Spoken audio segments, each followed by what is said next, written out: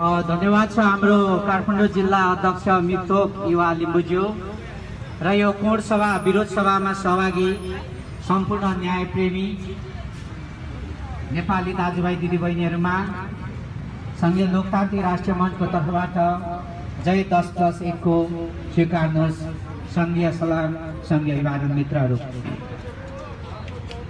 दाजुभाइ दिदीबहिनीहरू आज नेपाल र विश्वलाई जसरी यो कोरोना भाइरसले सताइरहेको छ र यो कोरोना भाइरसले सताइरहँदा रोडमा आउनु हाम्रो कुनै रहर होइन।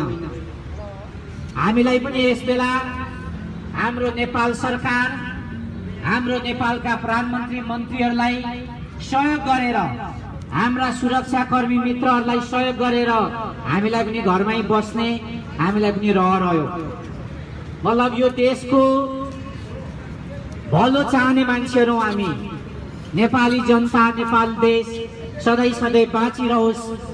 यहाँका सबै जात जातिहरू मिलेर बाँचुन् मिलेर बसुन् भन्ने हामी पक्षको मान्छेहरू हौँ।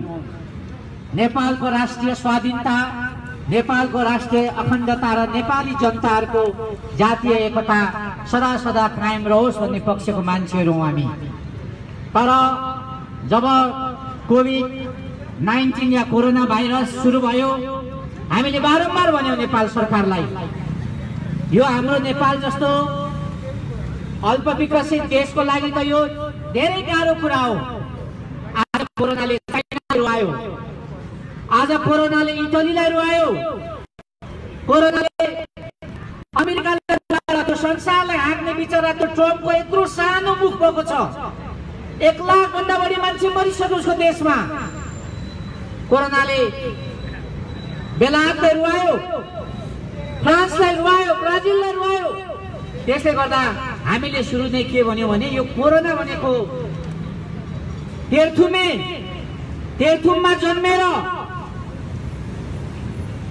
त्यहाँका लिम्बूहरूसँग अन्तर सङ्घर्ष भएर भागेर झापातिर आएर उखान भन्ने खड्ग प्रसाद ओलीले उखान टुक्का गरे जस्तो होइन।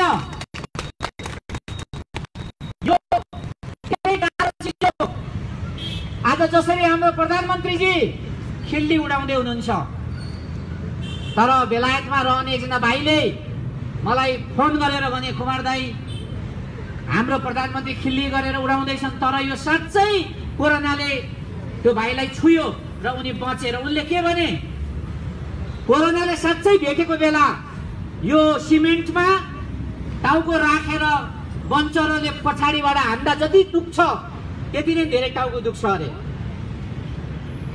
चौध पन्ध्र सय डिग्री सेल्सियसमा केही तताउँदा जति तातिन्छ त्यति नै जिउ तातिन्छ अरे। यो हाम्रो फोक्सो यति यति पीडा हुन्छ कि बम ल्याएर आर्मीहरूसँग बम मागेर आफ्नो फोक्सो आफै फुटाएर मरौँ जस्तो लाग्छ अरे। यो त्यस कारणले कोरोना कुनै साधारण कुरा होइन। आज हामी नेपालीहरूसँग प्रतिरोध क्षमता छ भन्दैमा त्यो होइन त्यो कोरोना आउने बाँकी छ। त्यो जन्मिँदै डाइट डाइटमा जन्मेको इटलीको मान्छे बेलायतको मान्छे जतिसँग त हामीसँग पक्कै प्रतिरोध क्षमता छैन। त मैले यहाँ हामीले भन्न खोजेको कोरोना साधारण चिज होइन जसले संसारलाई रुवायो। त्यसले गर्दा हामीले सुरुदेखि नै भनेको कम्तीमा नेपालमा। सबै राजनीतिक दलहरूको एउटा संरचना बनाऊ। सबै पार्टीहरूको एउटा संरचना बनाऊ। यहाँ हिन्दू धर्म छ क्रिस्चियन धर्म छ मुस्लिम धर्म किराँत धर्म के के बुद्ध धर्म छ सबै धर्महरूको एउटा संस्था बनाऊ। यहाँ तामाङ सङ्घ मगर सङ्घ छेत्री सङ्घ बाहुन सङ्घ लिम्बू सङ्घ हरेक छन् सबै दलित शिल्पी सङ्घ छन् सबैलाई एक ठाउँमा ल्याउँ र एउटा संयुक्त शक्तिले मात्रै कोरोनालाई चाहिँ परास्त गर्न सकिन्छ नभए परास्त गर्न सकिँदैन भनेर हामीले बारम्बार भन्यौँ। आज तिन महिना लकडाउन भइसक्यो। मान्छेले के खाने छैन। साउजीले भन्छ भाडा दिन्छस् भने दे नभए निस्केर जा भन्छ। के भन्नु त्यतिखेर? यस्तो देशमा हामी बाँचिरहेका छौँ। आज यो कोरोनाको तिन महिनामा पन्ध्र सय नेपालीले आत्महत्या गरो पन्ध्र सय नेपालीले। पन्ध्र सय नेपालीले आत्महत्या यो आत्महत्याको दोषी खड्ग प्रसाद ओलीले लिनै पर्छ भन्ने हाम्रो भनाइ हो मित्र। यसले व्यवस्थापन गर्न सकेन। जनताको कुरा सुनेन यसले। र हामीले एउटा आज नयाँ माग यहाँले यो चोकमा राख्नु कि कोरोनाको बारेमा गोलमेज सम्मेलन गर। नभए ब्याङ्क डुबिसक्यो। आज ब्याङ्कको कर्मचारीहरू हिजो ब्याङ्कको कर्मचारीले अहिले कफी र चियासम्म खुवाउनु सक् छोड्न सक्यो ब्याङ्कको कर्मचारीले। कर्मचारीलाई। आज देश आर्थिक रूपमा राजनीतिक रूपमा सामाजिक सांस्कृतिक रूपमा डुब्दैछ दिनदिनै हजार हजारको सङ्ख्यामा कोरोना सङ्क्रमितहरू बढिरहेको छ। अनि यो कम्युनिस्ट सरकार मजाक मजाक उडाएर बसिरहेको छ हाच्छिउ साच्छिउको कुरा गर्दै बसिरहेको छ। र हामीले नारामा भनेको छौँ ए खर्ग प्रसाद हाच्छिउ गर। र दस अरब त्यो जो भ्रष्टाचार गर्छ त्यो फोक निकाल बाहिर जनता हेर्न चाहन्छ। हामीले त्यही कुरा भनिरहेका छौँ मित्रहरू। हामी सधैँ यो देशको पक्षधर नेपाली जनता नेपाल बाँच्नुपर्छ भन्ने हामी पक्षधर तर त्यत्तिकै बाँच्दैन। यसको लागि सबै जात जातिलाई समेट्नुपर्छ आज नेकपामा दस लाख कार्यकर्ता छ भनेर प्रचण्ड र खड्ग ओलीले गफ हाँक्छन् दस लाख उनीहरूको चाहिँ क्रियाशील कार्यकर्ता छन् अरे। म यहीँबाट सोध्न चाहन्छु त्यो दस लाख नेकपाको कार्यकर्ताले यो कोरोना कस कोरोनाको कोषमा कति दियो? दस रुपियाँ दियो? दस रुपियाँ पनि दिएन नेकपा। एमा एमाले र यो कम्युनिस्टहरूले यो कोरोना कोषमा दस रुपियाँ पनि अहिलेसम्म पैसा हालेको छैन।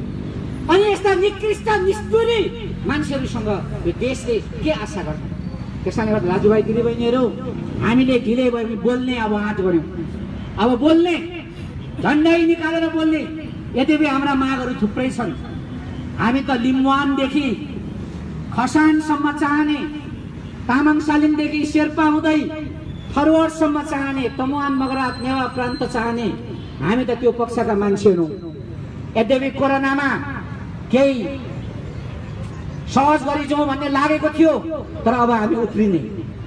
म दाजुभाइ दिदीबहिनीलाई भन्न चाहन्छु अब फेरि हामी कार्यक्रम गर्छौँ। आज यो जोर बिजोर के के के केले हामीलाई रोक्यो होला? यो सूर्य ग्रहण कि के केले हामीलाई रोक्यो होला? तर फेरि हामीले यहाँ कार्यक्रम गर्नु अब हामी बोल्नुपर्छ। दाजुभाइ दिदीबहिनीहरू भर्खरै रुकुम जाजरकोटमा छजना दलित शिल्पीका हनार भाइहरूको हत्या भयो। नरसंहार भयो। यो देशको सरकारले आधिकारिक रूपमा कम्तीमा केही बोल्नुपर्छ। आज जसरी लकडाउन अलिकति सहज भयो सुन्यो चौबिसजना भन्दा बढी नेपालीहरूको लास एकैपल्ट विदेशबाट आयो। कहीँ एउटा संवेदना छैन कुनै मन्त्रीको एउटा संवेदना छैन। होइन कस्तो राक्षसहरू यो देशमा शासन गरिरहेछन् दाजुभाइ दिदीबहिनीहरू। त्यसैले गर्दा हामीले अब आफ्नो आवाज उठाउनु पर्छ र हामीले बारम्बार भनेका छौँ हाम्रो सङ्घीय दलित शिल्पी मञ्चका नेता साथीहरूले भन्नुभयो भर्खरै रुकुममा जुन जाजरकोटमा घटना घट्यो यस्तो षड्यन्त्र गरेर ठ्याक्कै निर्मला पन्तको त्यहाँ दोहोऱ्याउन खोजिरहेछ। यो बाहिरको जनताको आँखामा छारो हाल्नको लागि। भन्दा बाहिर प्रहरीले जनतामा आँखा छर्नुको लागि कडाभन्दा कडा मुद्दा दायर गर्यो प्रहरीले जाजरको ढुक्रा गर्दैछु तर सेटिङ गरेर डक्टरहरूलाई मृतकहरूको पोस्टमार्टम चाहिँ कमजोर बनाउनु लगायो प्रहरीले मुद्दा दायर गर्यो। अडतिसजना र बत्तिसजनालाई ज्यान केस तर यता पोस्टमार्टम रिपोर्ट बनायो। बाहिर मरे के अरे पौडी खेल्दाखेरि मरेको भनेर पोस्टमार्टम बनाइदियो। अब कतिसम्म यिनीहरू ढाँट र छल गर्दै रहेछन्। त्यसैले गर्दा आज सिङ्गो दलित शिल्पीहरूले जुन आन्दोलन चलाइरहनु भएको छ त्यसमा हाम्रो सङ्घीय लोकतान्त्रिक राष्ट्रिय मञ्च। हामी सदा एकबद्धता साथ सौक र आवश्यक पर्यो भने यो सडकहरूमा टायर बाल्न पनि हामी पछाडि नपर्ने कुरा म यहाँबाट जगजाहेर गर्न चाहन्छु मित्रहरू यसरी नै हामीले अरू पनि हामीले माग मुद्दाहरू उठाएका छौँ। आज घरबाट मैले भने तिन महिना हामी लकडाउनमा बसिसक्यौँ। साउजीले भन्छ कि पैसादेखि घरबाट निस्कि भन्छ। के गर्ने त यो अवस्थामा? ब्याङ्कले भन्छ पैसा दे। लोन दे भन्छ। सबै व्यापारहरू बन्द छ। के गर्ने त यो अवस्थामा? भन्दा सरकारले सहजीकरण त गर्नु पर्यो नि त सरकारले केही सहजीकरण सरकार चाहिँ पुरा कुम्भकर्ण भएर सुतेर बस्ने अनि हुन्छ। यसमा सहजीकरण गर्नुपर्छ भनेर हामीले आवाज उठाएको छौँ दाजुभाइ दिदीबहिनीहरू। र यसरी नै दुई वर्षभन्दा बढी माननीय रेशम थारूलाई दिल्ली बजारको जेलमा कोचिएको छ। रेशम थारूलाई तुरुन्त भन्दा तुरुन्त रिहाई गर्नुपर्छ होइन भने फेरि पनि यो देशमा आन्दोलनको आँधीबेरी आउँछ भन्ने कुरा म यहाँलाई जगजाहेर गर्न चाहन्छु। यसरी नै अहिले भर्खरै लोकसेवा आयोगले निकालेको छ। जम्मा जागिरमा जम्मा सय प्रतिशत सय प्रतिशतमा पचपन्न प्रतिशत प्रत्यक्षबाट पैँतालिस प्रतिशत समानुपातिकबाट। पचपन्न प्रतिशत त आर्यले नै खाने भयो बाहुनले नै खाने भयो। अनि त्यसबाट छुट्टिएको पैँतालिस प्रतिशत जो आदिवासी जनजातिको लागि हो त्यो पैँतालिस प्रतिशतबाट पनि खस आर्यको बत्तिस प्रतिशत दिएर फेरि बाहुनले वाम्मै बनाइदियो।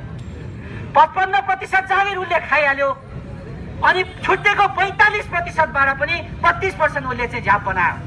त्यो बत्तिस प्रतिशतमा पनि क्षेत्रीयहरूको सत्र प्रतिशतलाई फेरि बाहुनले नै त्यहाँ झम बनाइदियो। त्यस कारणले गर्दा दाजुभाइ दिदीबहिनीहरू हामी यो भन्न चाहन्छौँ कि यो सरकारले अति गर्यो। यो अतिको परिणाम एकदम क्षति हुने र यो देशको लागि राम्रो नतिजा ननिकाल्ने म यहाँ घोषणा गर्न चाहन्छु मित्रहरू। र यसरी नै स्मार्ट सिटी बनेर काठमाडौँको नेवारको सभ्यता ध्वस्त बनाउने जुन अहिले प्रक्रिया चलाइरहेको छ यसमा हामीले घोर विरोध गरेका छौँ। काठमाडौँको नेवार सभ्यतालाई ध्वस्त नगरियोस् हाम्रो यो माग छ। म यही कुराहरू राख्दै संविधान संशोधन भयो। हाम्रो धेरै नेताहरूले बोलिसक्नुभयो नक्साको बारेमा। मैले त्यसलाई दोहोऱ्याइनँ म त्यसमा समर्थन गर्न चाहन्छु। तर कहिले कहिले कहिले कहिले के हुन्छ भन्दा मैले सुनेको छु। आज खड्ग प्रसाद ओलीजी धेरै राष्ट्रवादी हुनुभएको छ। कतै यो राष्ट्रवादी भएर लिपुलेक कालापानीको कुराहरू गरेर त्योभन्दा धेरै भूभाग फेरि कसैलाई दिने खालको षड्यन्त्र त भइराखेको छैन।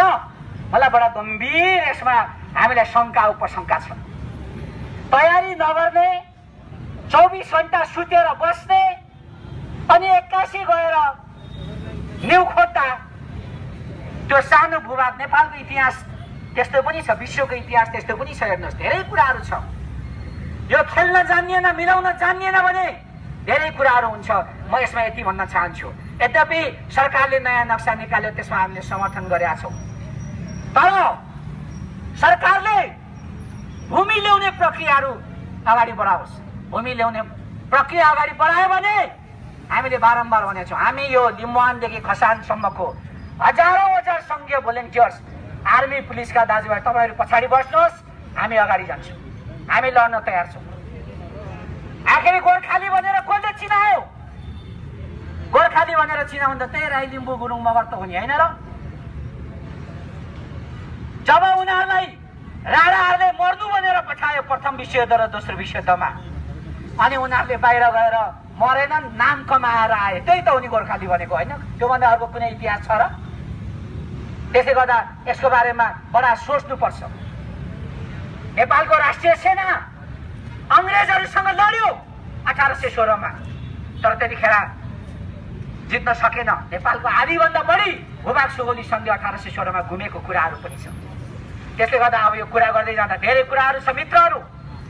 म सबै दाजुभाइ दिदीबहिनीहरूलाई भन्न चाहन्छु अब यो कथाले यो रोडले यो देशले यो काठमाडौँले नयाँ झन्डा खोजिरहेको छ नयाँ नेता खोजिरहेको छ नयाँ शक्ति नयाँ सङ्गठन नयाँ मान्छेहरू खोजिरहेको छ र त्यसको लागि हाम्रो सङ्घीय लोकतान्त्रिक राष्ट्रिय मञ्च अगाडि आएको छ। एउटा सिङ्गो देशले नयाँ कथा नयाँ इतिहास एउटा नयाँ नेतृत्व अगाडि खोजिरहेको छ।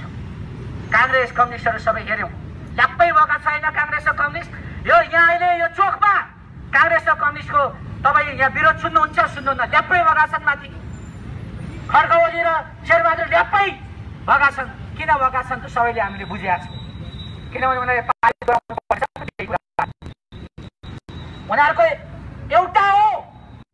हरेक कुरा अब एमसिसीको कुराहरू आयो। हामीले एमसिसीको बारेमा प्रश्न बन्यौँ हो यो हामीलाई थाहा छ। लगभग लगभग चाइना अझै